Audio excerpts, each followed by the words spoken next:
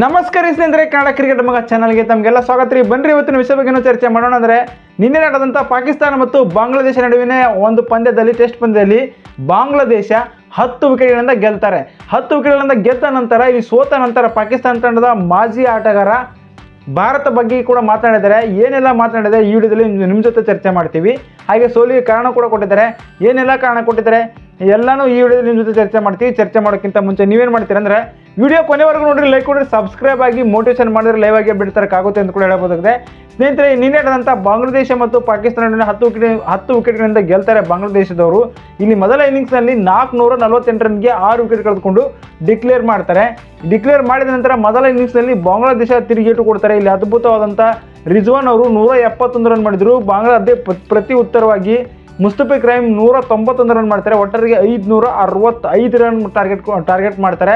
ಅಲೌಟ್ ಕೂಡ ಆಗ್ತಾರೆ ಒಟ್ಟಾರೆಗೆ ಲೀಡ್ ಕೂಡ ತಗೋತಾರೆ. ನೂರ ಹದಿನಾರು ರನ್ಗಳಿಂದ ಲೀಡ್ ತಗೋತಾರೆ. ಮತ್ತು ಇಲ್ಲಿ ಪಾಕಿಸ್ತಾನ ಎರಡನೇ ಇನ್ನಿಂಗ್ಸ್ ಪ್ರಾರಂಭಿಸಿದಾಗ ನೂರ ನಲವತ್ತಾರು ರನ್ ಮಾತ್ರ ಮಾಡ್ತಾರೆ. ನೂರ ನಲವತ್ತಾರು ರನ್ ಮಾಡಿ ಆಲ್ಔಟ್ ಆಗ್ತಾರೆ ಅಂತ ಕೂಡ ಹೇಳ್ಬೋದು. ಬೇಗ ಆಲ್ಔಟ್ ಆಗ್ತಾರೆ. ಹಾಗಾಗಿ ಮೂವತ್ತು ರನ್ಗಳ ಟಾರ್ಗೆಟ್ ನೀಡ್ತಾರೆ ಪಾಕಿಸ್ತಾನದವರು. ಹಾಗಾಗಿ ಮತ್ತೆ ಬಾಂಗ್ಲಾದೇಶದವರು ಕೂಡ ಆರಾಮಾಗಿ ಚೇಸ್ ಮಾಡಿ ಹತ್ತು ವಿಕೆಟ್ಗಳಿಂದ ಗೆಲ್ತಾರೆ. ಇಲ್ಲಿ ಮೊದಲನೇದಾಗಿ ಪಾಕಿಸ್ತಾನ ಮಾಜಿ ಆಟಗಾರ ನಾಯಕರಾಗಿದ್ದರು ಹಳೆಯ ನಾಯಕರಾಗಿದ್ದರು ರಮೀಮ್ ರಾಜಾ ಅವರು, ರಜಾ ಅವರು ಕೂಡ ಸಖತ್ತಾದಂಥ ಆಟಗಾರ. ಇವರು ಏನು ಹೇಳ್ತಾರೆ ಅಂದರೆ, ಇಲ್ಲಿ ಸೋಲಿಗೆ ಬಾಂಗ್ಲಾದೇಶ ಕಾರಣವಲ್ಲ, ಭಾರತ ನಮ್ಮ ಸೋಲಿಗೆ ಕಾರಣ ಅಂತ ಕೂಡ ಹೇಳ್ತಾ ಇದ್ದಾರೆ ಇದು ಯಾವ ಯಾಕೆ ಹೇಳಿದ್ದಾರೆ ಅಂದರೆ ಮೊದಲನೇದಾಗಿ ಏಷ್ಯಾ ಕಪ್ನಲ್ಲಿ ಪಾಕಿಸ್ತಾನ ವಿರುದ್ಧ ದೊಡ್ಡ ಮಟ್ಟದಾಗಿ ಟಿ ಟ್ವೆಂಟಿಯಲ್ಲಿ ಆಗಿರ್ಬೋದು ಓಡೆ ಪಂದ್ಯದಲ್ಲಿ ಸ್ಪೀಡ್ ಬಾಲರ್ಗಳ ಮೇಲೆ ದಾಳಿ ಮಾಡಿ ಭಾರತ ತಂಡ ಗೆದ್ದಿತ್ತು. ನೋಡಿರ್ಬೋದು, ಏಷ್ಯಾ ಕಪ್ನ ಟಿ ಟ್ವೆಂಟಿಯಲ್ಲಿ ವಿರಾಟ್ ಕೊಹ್ಲಿ ಯಾವ ರೀತಿಯಾಗಿ ಚಚ್ಚಿದ್ರು, ಆ ಆ ರೀತಿಯಾಗಿ ಅಂದರೆ ಸ್ಪೀಡ್ ಬಾಲರ್ ಬಾಲರ್ಗಳಿಗೆ ಯಾವ ರೀತಿಯಾಗಿ ದಾಳಿ ಮಾಡಿದ್ರೆ ಪಾಕಿಸ್ತಾನ ತಂಡ ಕುಗ್ಗುತ್ತಾರೆ ಅನ್ನುವ ರೀತಿಯಾಗಿ ಒಂದು ದಾಳಿ ಮಾಡಿದರು.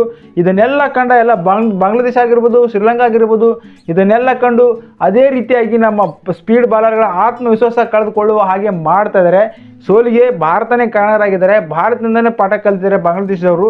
ಬಾಂಗ್ಲಾದೇಶ ಅವ್ರ ಪಾಠದಿಂದನೇ ಇವಾಗ ನಮ್ಮ ಸ್ಪೀಡ್ ಬಾಲರ್ಗಳಿಗೆ ದಾಳಿ ಮಾಡಿ ನಮಗೆ ಸೋಲಿಸಿದ್ದಾರೆ ಅಂತ ಕೂಡ ಈ ರೀತಿಯಾಗಿ ಒಂದು ಸೋಲಿಗೆ ಕಾರಣ ಕೊಡ್ತಾ ಇದ್ದಾರೆ ಮತ್ತೊಂದು ಕಾರಣ ಏನು ಕೊಡ್ತಾ ಇದ್ದಾರೆ ನಮ್ಮ ನಮ್ಮ ದಿಮಕ್ಕೆ ನಮಗೆ ಸೋಲಿಸಿದೆ. ಯಾಕಂದರೆ ನಾಲ್ಕುನೂರ ನಲ್ವತ್ತು ಎಂಟು ರನ್ಗಳಿಗೆ ಆರು ವಿಕೆಟ್ ಕಳೆದುಕೊಂಡು ಡಿಕ್ಲೇರ್ ಮಾಡ್ತಾರೆ.